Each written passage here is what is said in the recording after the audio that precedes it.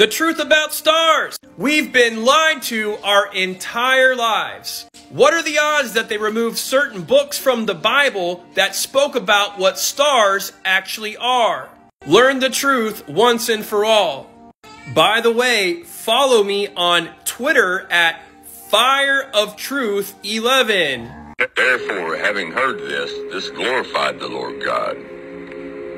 And again I questioned the demons, saying, Tell me how you can ascend into heaven, being demons, and amidst the stars and the holy angels intermingle. And he answered, Just as things are fulfilled in heaven, so also on earth are fulfilled the types of all of them. For there are principalities, authorities, world rulers, and we demons fly about in the air, and we hear the voices of the heavenly beings and survey all powers as having no ground or basis on which to alight and rest, we lose strength and fall off like leaves from trees, and men, seeing us, imagine that the stars are falling from heaven. But it is not really so, King, but we fall because of our weakness, and because we have nowhere anything to lay hold of.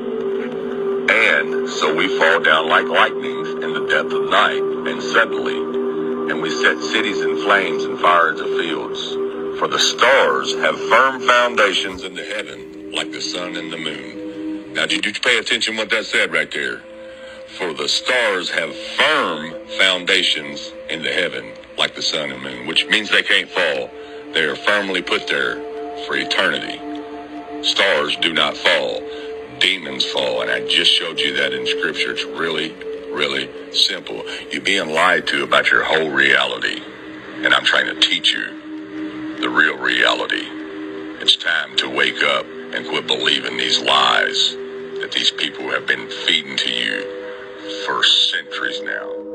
And what you got to ask yourself is why all the books that were stripped from the Bible are the books that explain to us everything that's going on in the sky and what all these things are made and how they were made. And ain't it funny that all those were stripped from the Bible and the only information you are given about everything up in the sky and all around you now is given to you by NASA? Hmm. These are not fallen stars. These are the demons, the evil spirits, bound here for eternity until a judgment day.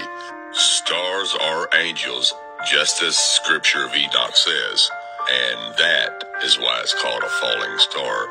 And they even hide it in the intro of Paramount movies, the fallen angels descending on Mount Hermon. The Book of Enoch chapter 6.